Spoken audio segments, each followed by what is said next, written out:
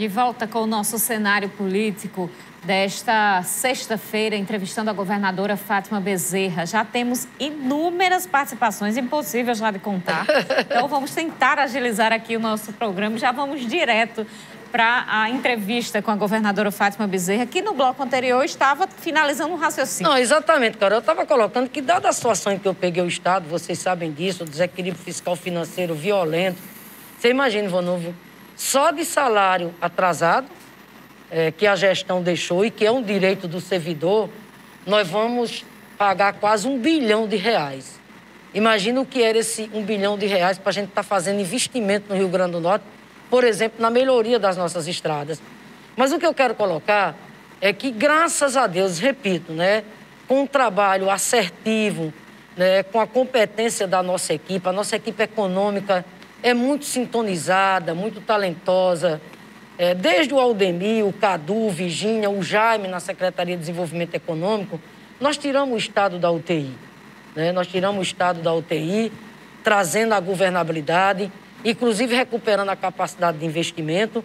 E eu quero aqui falar, por exemplo, de esperança de dias melhores com dados concretos. Por exemplo, é, o Rio Grande do Norte continua liderando é, o ranking da produção de energia eólica no país.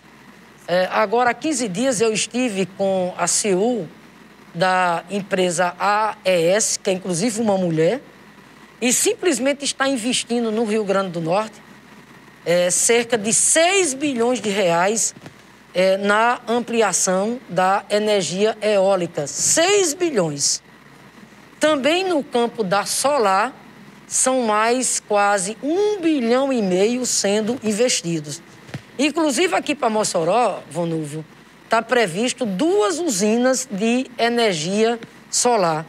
Para você ter uma ideia, por exemplo, no campo do petróleo, agora há poucos dias a empresa Potiguar, que está investindo aqui nos chamados campos maduros, né?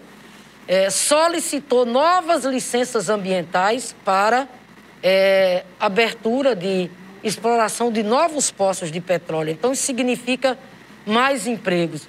Veja bem, o Mossoró aqui tem 35 empresas beneficiadas pelo PROED. É, dos, da, dos quais, das quais dessas 35 empresas, 17 é, são empresas que foram beneficiadas já com o novo PROED, que foi aquela mudança que nós fizemos na política né, de incentivo fiscal. Mossoró, por exemplo, eu tive aqui no final do ano, aliás, no início desse ano, é, e tinha sido uma agenda que eu tinha tratado com eles ainda na, na viagem quando nós fizemos a Europa, depois no Rio de Janeiro fala do grupo Voltalha, e hoje, está entendendo, não é um sonho, é realidade. Mossoró Semiárido abriga aqui simplesmente o centro de operações mundial do controle de energia renovável da Voltalha, né? É, então, nós estamos falando, repito, né, de investimentos é, concretos já em curso e me permitam dizer que isso está acontecendo né, pela sensibilidade, competência, talento que o nosso governo teve de reposicionar o Rio Grande do Norte do ponto de vista de rever essas políticas de incentivo para fazer com que o Rio Grande do Norte não perdesse atratividade para o Ceará, para Paraíba, porque esses empregos estavam indo todos embora. Você veja, hoje os jornais trazem a manchete que o Rio Grande do Norte é, foram mais de 2 mil empregos gerados, mesmo nesse contexto de pandemia que nós temos vivido e que tem impactado muito a questão da economia. Está aí o polo cloro, cloroquímico, né? a Prefeitura de Mossoró, o secretário de Desenvolvimento Econômico de Mossoró, em contato com o secretário de Desenvolvimento Econômico, Jaime Calado. É evidente que o Estado acompanhando, participando, até porque não tem como investimentos dessa monta é, se consolidar sem a presença do Estado, dada a questão do licenciamento ambiental, a questão da política de incentivos, a, a indústria da, da, da porcelana, né, que nós estamos né, junto com a, com a prefeitura, em diálogo com a empresa, para ela retornar exatamente a Mossoró. Então, eu diria assim, rapidamente, está entendendo que é, esse primeiro mandato né, foi assim, para sanear o Estado, para arrumar a casa, mas ao mesmo tempo a gente é, reposicionando o Estado do ponto de vista de, é, de, de fincar as bases né, para o projeto de desenvolvimento, para trazer aquilo que o nosso povo mais precisa, que é exatamente emprego. Governadora, CPI na Assembleia Legislativa. Sim. Como é que a senhora avalia essa, essa decisão pela investigação de irregularidades Sim. em compras por parte do governo do Estado? É, primeiro, isso é um assunto que diz respeito à Assembleia Legislativa, é uma prerrogativa da Assembleia. Né? É, segundo, quem está cuidando né, é, desse tema é o líder do governo, junto com a base que dá sustentação ao nosso governo. E terceiro, Carol, o governo está é, inteiramente à disposição para dar todos os esclarecimentos que se façam necessários.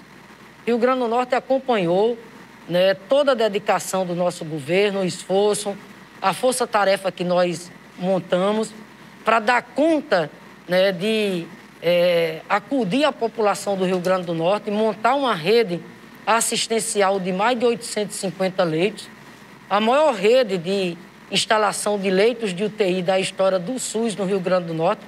Fizemos isso com toda transparência, como até hoje. Estão lá todos os processos publicados no nosso portal da, da transparência. Vale ressaltar também, Vonúvio, a participação muito importante dos ministérios públicos, né? maioria exatamente desses contratos se deu através de termos de ajustamento de gestão. Mas é isso, Carol. Eu repito, eu respeito, isso é uma decisão da Assembleia e isso quem está exatamente é, cuidando é o líder do governo junto com a nossa bancada.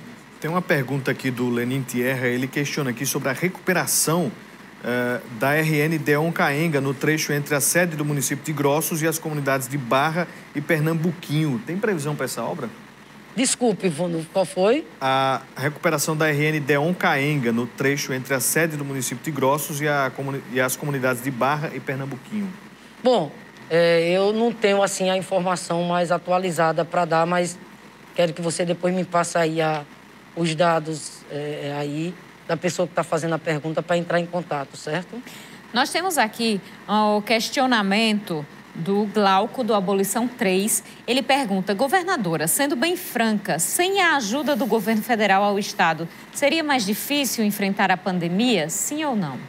Não, eu acho que esse debate precisa ser feito levando em consideração é, o, a postura que o governo federal adotou é, do ponto de vista de negar a ciência, de dar as costas para a ciência. E aí, meu amigo, né, a tragédia que nós estamos vivendo. Né? Maior tragédia humanitária da história contemporânea exatamente do Brasil. Olha, são mais de 500 mil vidas que foram ceifadas para uma doença que tem vacina. Que infelizmente a maior autoridade do país podia ter adquirido essas vacinas desde o ano passado. A maior autoridade do país que desdenha da máscara que não acredita na vacina, que incentivou aglomerações. Então, infelizmente, infelizmente, né, essa postura negacionista da maior autoridade do país contribuiu e muito para o luto, para a dor.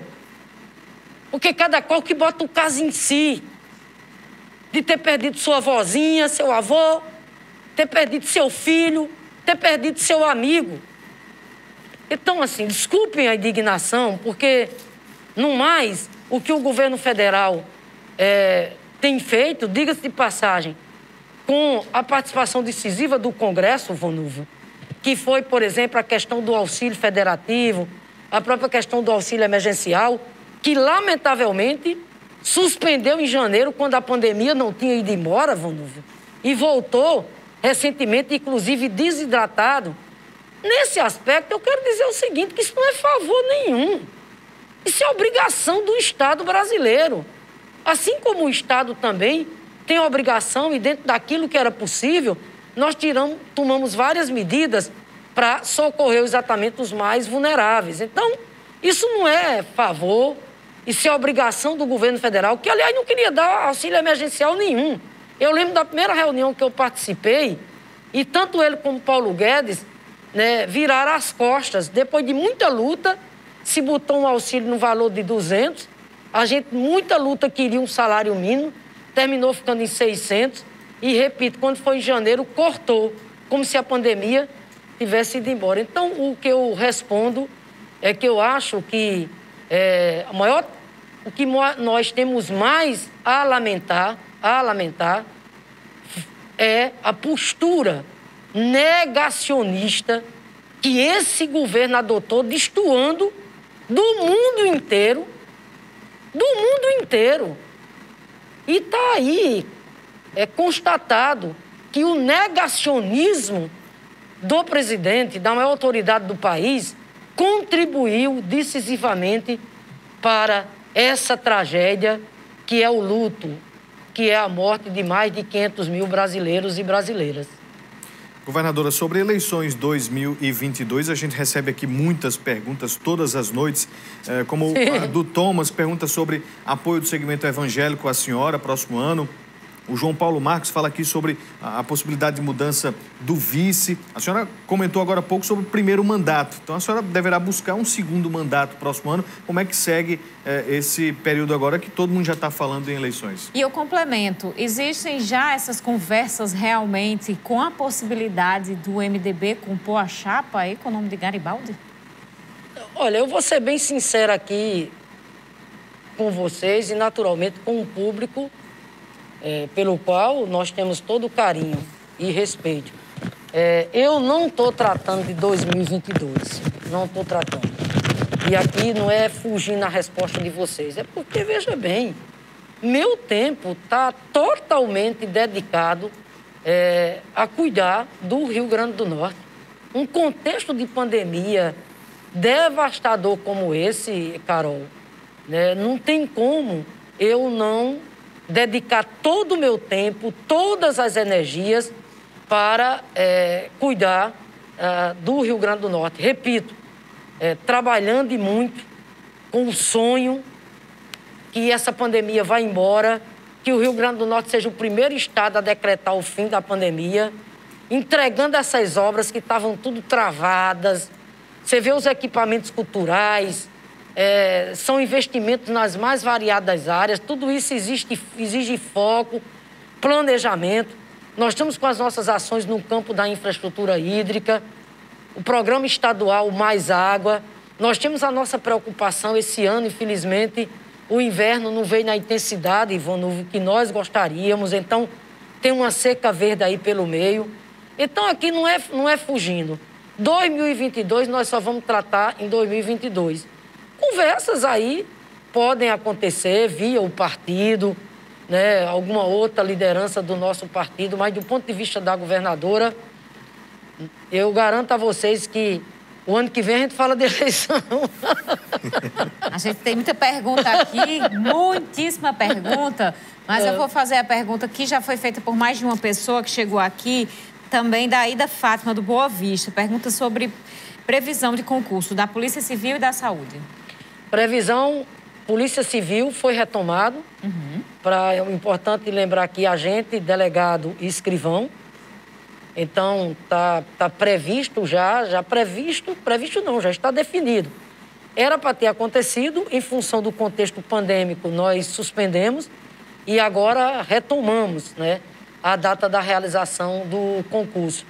A saúde, nós acabamos exatamente de convocar mais quase 300 é, profissionais da saúde né, que estão sendo exatamente nomeados, porque, veja, esse ano, diferente de 2021, o Estado está praticamente sozinho, segurando o custeio dessa rede de mais de 850 leitos de UTI em todo o Estado. Né? E isso é, exige, por exemplo, foi necessária a contratação de mais profissionais e nós, repito, estamos nomeando quase 300. Por enquanto, não tem a definição de um novo contrato da saúde, mas estamos trabalhando nessa direção. Agora, lembrando, Carol, rapidamente, que além do concurso da Polícia Civil, tem o concurso para o ITEP, já definido esse ano, e tem esse ano também, o Vonúvio, concurso para oficiais da Polícia Militar. Simplesmente um quadro em extinção. Há 16 anos que não tem concurso para oficial da Polícia Militar e se prepare porque vai ter esse ano. Governadora Fátima Bezerra, muito obrigada pela entrevista no programa de hoje.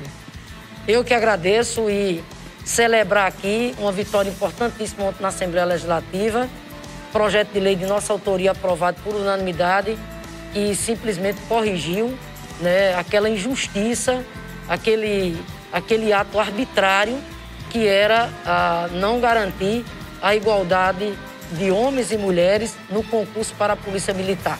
Obrigado, governadora. Seja sempre bem-vinda. Você de casa, um ótimo final de semana. Carol entra de férias, né, Carol? Pois é. Muito obrigada, governadora, mais uma vez. Seja sempre bem-vinda. Volto depois do dia 20. A gente se encontra por aí, redes sociais. Monúvio fica no comando, nas praias. Monúvio fica no comando aí. A gente se encontra. Até lá.